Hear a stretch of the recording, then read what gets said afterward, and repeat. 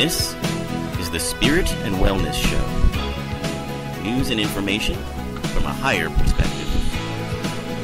With your host, Harry Wilkinson.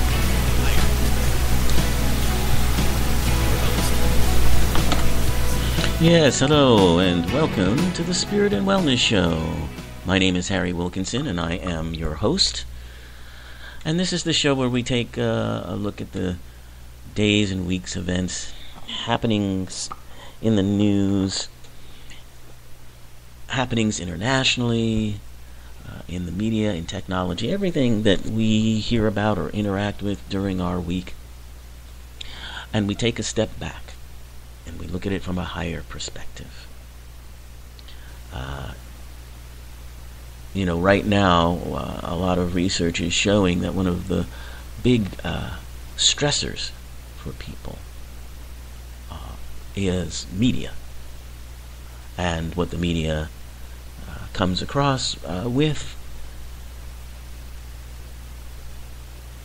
And that can include, uh, you know, your 24-hour news stations. It can include your social media.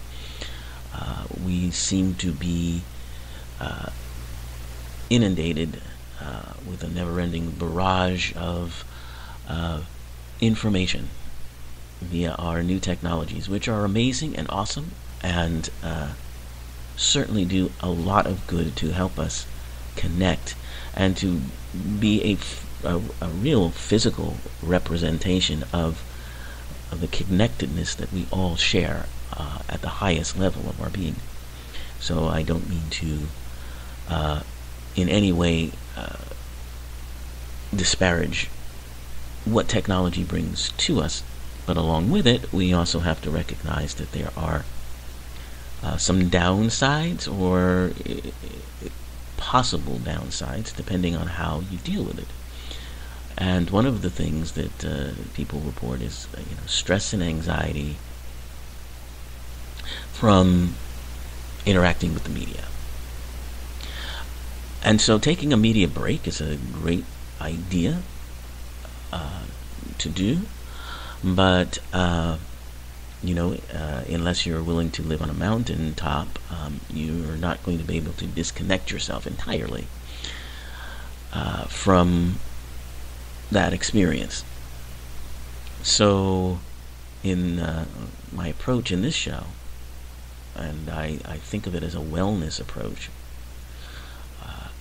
because one has to have a healthy way to inter- interact with uh, these stressors in the environment and uh, neutralize them so that they uh, don't trigger those buttons, that they don't cause that level of stress.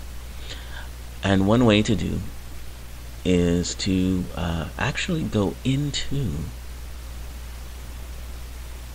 those stories, those situations that uh, seem to be causing you stress and to recognize the truth of them.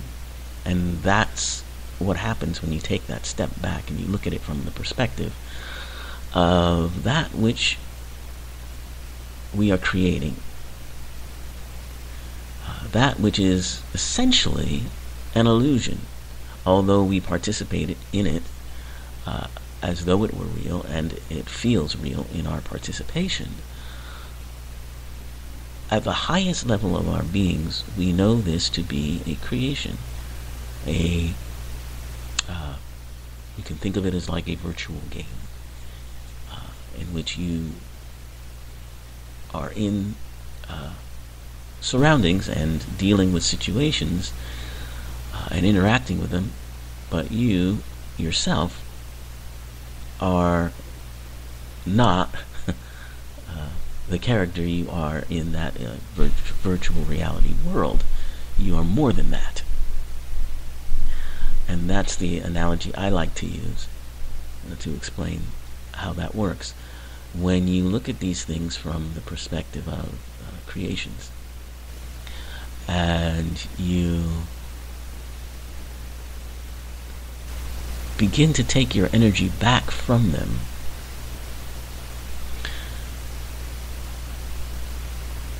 you see how it empowers you and it changes you. And you're no longer feeling stress about it, but now you are feeling empowered. Now you are feeling um, uh, able to cope. And just that meditative process of going into those uh, those things, those uh, things that are bringing up the uh, stressed stressed feelings and uncomfortable feelings. Just going into it and doing that process of recognizing the truth of it as an illusion, as a creation, and taking your energy from it without expecting anything else, no changes or anything like that. Just going in, feeling it, taking your energy, and uh, appreciating the the depth and the level uh, and the uh, brilliance of the deception of the illusion uh, of how real it seems and feels at times. Just that process actually changes things. But you don't need to go into it with that intent. You just need to go into it as part of your wellness uh, approach, as part of your ability to uh, interact with uh, those things that uh, might not um, initially um, bring you much pleasure. Uh, you know, the media has their job to do, uh, which is presenting you with information, but um, besides that, uh, their main job is to make money for their advertisers. And they do that by presenting the stories that they feel will get the most attention and by presenting them in a way that will get them the most attention. And uh, that way tends to usually involve uh, pushing trigger buttons for people, getting them anxious or concerned or upset or, uh, you know, uh, other very powerful feelings that, uh, you know, sort of instantly uh, grab your attention. And so we need to be able to counter that, and we counter that through that meditative process uh, that I uh, explained to you. So, on with the show. We've been talking about, um, for the past couple of weeks, we've been talking about some very heavy stuff uh, about how uh, the new research in psychedelics such as psilocybin and LSD that's being done are showing how uh, your brain can change and how you can experience spiritual uh, experiences, other dimensions, through the use of these chemicals in a controlled environment. Uh, and these are, you know, science journals that are talking about this. This this this isn't some uh, you know uh, woo woo uh, website uh, about spirituality. These are uh, scientific journals, peer reviewed articles and research that are talking about spirituality for maybe the first time. Uh, and we were talking about Michael Pollan. He's an author who wrote a book about this new research. And uh, he explains in detail his surprise at coming across uh, science journals that talk about this kind of thing. Um, in fact, it's a whole new world for him. If, uh, you know, uh, unlike perhaps some of us who have been uh, uh, spiritual seekers for a while. Um, this this comes as a sort of a revelation to him. So we've been talking about that book, and it's on my recommendations list. If you go to my website, which is uh, H Wilkinson Media, uh, it, uh, it, talks about metaphysical media, and it's one of our metaphysical media picks. Um, so it's been uh, a, a, very heady, no pun really intended there uh, past few episodes. So we're going to take a little break from that and focus on uh, some wellness issues, in particular, uh, some wellness groups. We talked about the slow food movement. Uh, so we're going to uh, explore that a little bit more, uh, as that seemed to have piqued uh, some curiosity out there. So we're going to talk about the slow food movement, and we're going to talk about uh, kind of movement that is gaining a lot of attention. It's called forest therapy. Forest therapy.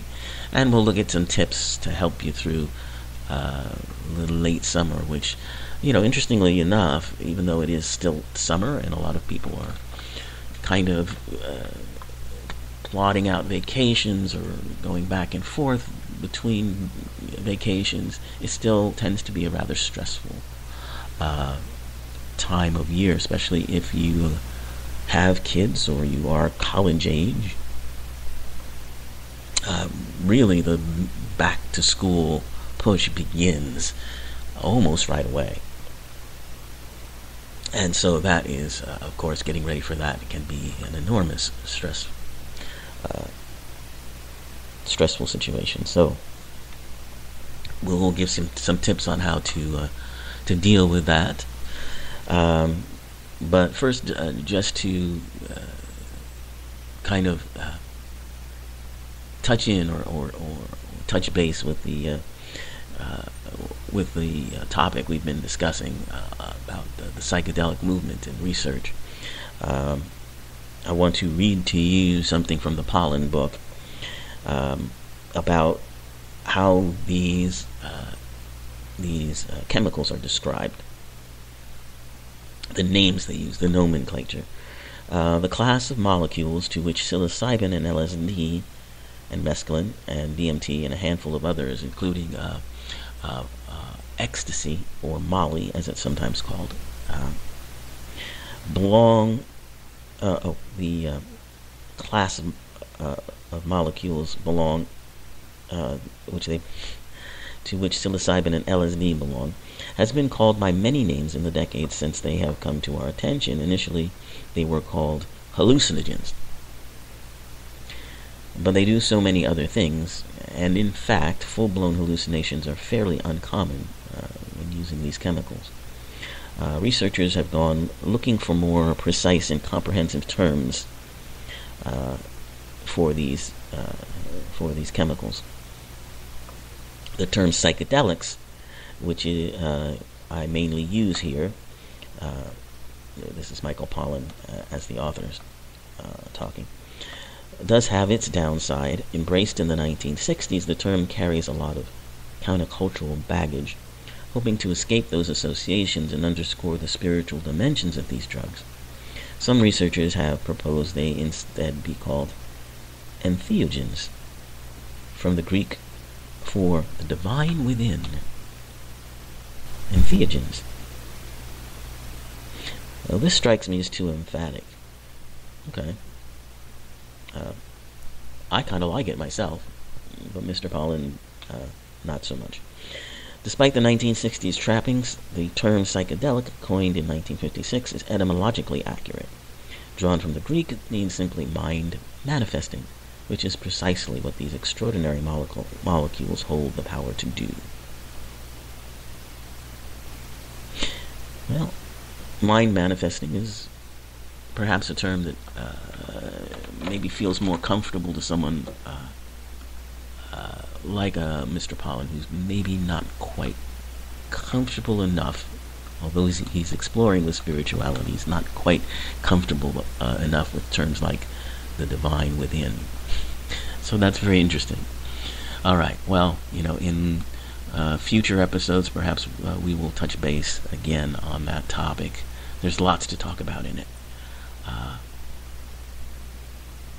and uh, so it's a, uh, a rich mine for a conversation and discussion.